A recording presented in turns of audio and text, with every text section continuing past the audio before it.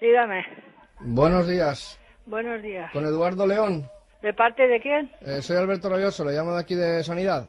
Es que no está él, ¿eh? No está. ¿Y cuándo estará? Pues no lo sé.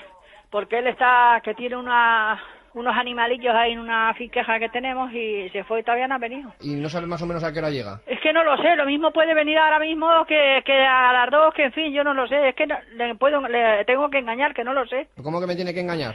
Claro, porque si le digo que va a venir ahora mismo, es que no lo sé. ¿Y para qué me engaña?